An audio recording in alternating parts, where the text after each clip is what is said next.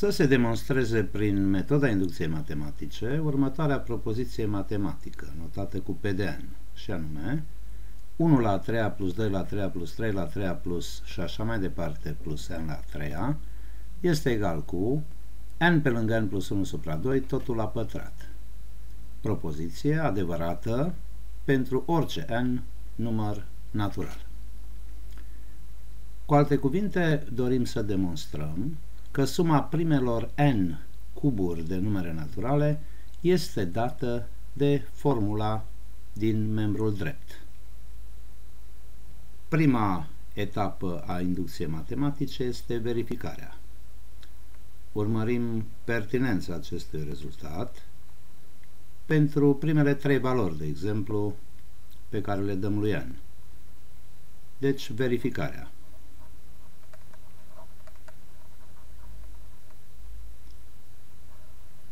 Începem cu a da lui n. Valoarea 1, obținem propoziția P1, care ne spune că suma formată practic dintr-un singur termen, și anume 1 la 3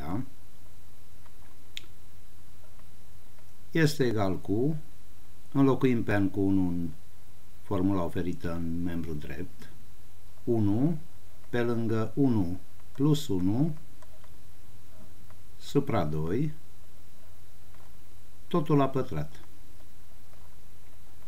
Echivalent în continuare cu 1 egal cu 1 plus 1 este 2, se simplifică cu 2 și obținem 1 la puterea a doua. Deci 1 egal cu 1. Propoziția este adevărată. Continuăm pentru n egal cu 2 propoziția P2 se referă la suma formată din doi termeni, întrucât n este egal cu 2, deci 1 la a treia plus 2 la a treia este egal cu 2, înlocuim pe n cu 2, pe lângă 2 plus 1 supra 2, totul la pătrat. Echivalent în continuare, 1 la 3 plus 2 la 3 este 9, egal cu, putem simplifica cu 2 și obținem rezultatul din paranteză 3 la puterea a doua, deci 9 egal cu 9. De asemenea am obținut o propoziție adevărată.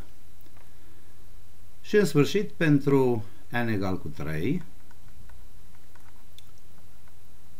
verificarea ultimă pe care ne-am propus-o, putem verifica în continuare. Deci P3 este următoarea propoziție matematică, 1 la 3 plus 2 la 3 plus 3 la 3 este egal cu 3 pe lângă 3 plus 1 supra 2 totul la pătrat echivalent cu avem 1 la 3 plus 2 la 3 este 9 plus 27, 36 egal cu 3 plus 1 este 4 simplificând cu 2 obținem 3 ori 2, 6 la puterea a doua egal cu 36. De asemenea, propoziția este verificată. Am verificat faptul că propozițiile P1, P2, P3 sunt adevărate. Trecem la a doua parte a inducției matematice, pe care generic o scriem în felul următor. P de K implică P de K plus 1. A doua etapă a inducției matematice este următoarea. Se presupune că P de K este adevărat, deci presupunând faptul că P de K este adevărat, să rezulte în aceste condiții că și propoziția P de K plus 1 este de asemenea adevărată. Mai întâi vom uh, dezvolta ipoteza din această problemă propusă, respectiv în ipoteza problemei intră P de K adevărat. P de K este următoarea propoziție matematică pe care o presupunem adevărată.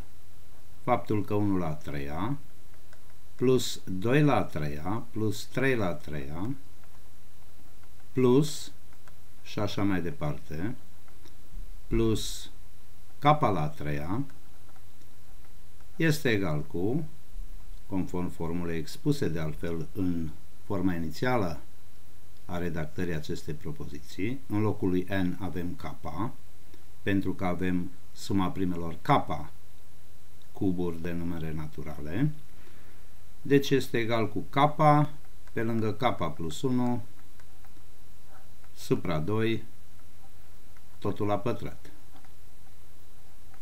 Așadar, această propoziție o considerăm adevărată. Va intra automat în ipoteza de lucru în ce privește demonstrarea faptului că PDK plus 1 este adevărat. Dorim, deci, să demonstrăm că PDK plus 1 este adevărat. Pentru aceasta, redactăm forma pe care vrem să o demonstrăm acestei propoziții.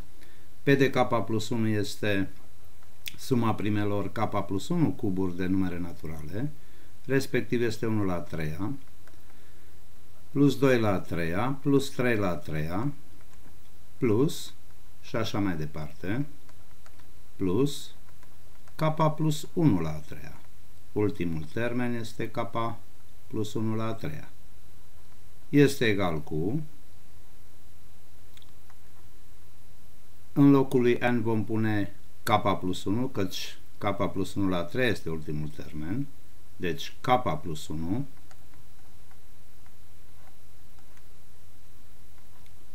pe lângă K plus 1 plus 1, deci vom avea pe lângă K plus 2, supra 2, totul la pătrat.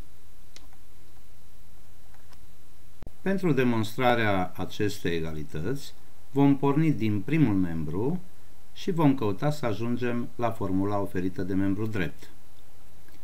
Așadar, ne concentrăm atenția asupra primului membru a sumei 1 la 3 plus 2 la 3 plus 3 la 3 plus și așa mai departe plus k plus 1 la puterea a treia și dorim să ajungem la formula oferită de membru drept. Pentru aceasta vom încerca să insinuăm în demonstrația noastră, în calculul nostru, rezultatul oferit de PDK, care este considerat presupus adevărat. Respectiv, ni se spune că suma primelor K cuburi de numere naturale este oferită de formula K pe lângă K plus 1 supra 2, totul la pătrat fapt pentru care intuim penultimul termen al acestei sume, care este K la a treia, tocmai pentru că suma primelor K cuburi de numere naturale este dat de K pe lângă K plus 1, totul supra 2, totul la pătrat. Așadar, Suma aceasta devine K pe lângă K plus 1 supra 2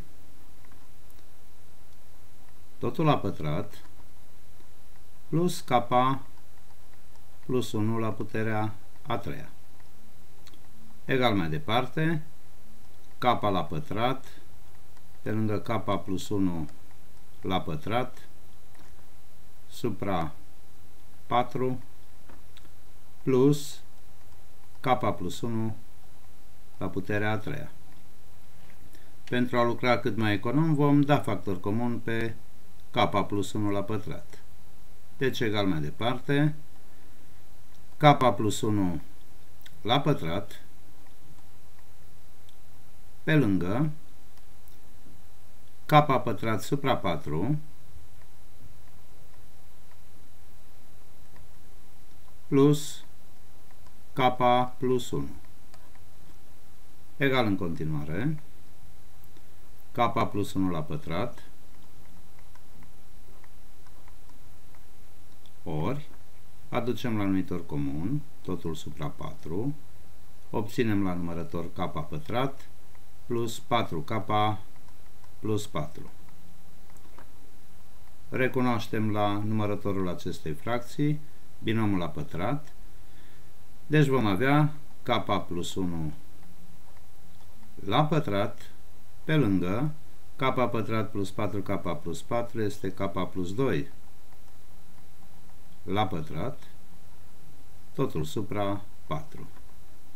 Și în sfârșit putem să scriem ca o fracție totul la pătrat, respectiv k plus 1 pe lângă k plus 2 supra 2 totul la pătrat. Adică am obținut formula la care trebuia să ajungem. În felul acesta, din 1 și 2, rezultă, demonstrând ambele etape ale metodei inducției matematice, rezultă că propoziția expusă la început, anume PDN, este adevărată oricare ar fi n număr natural.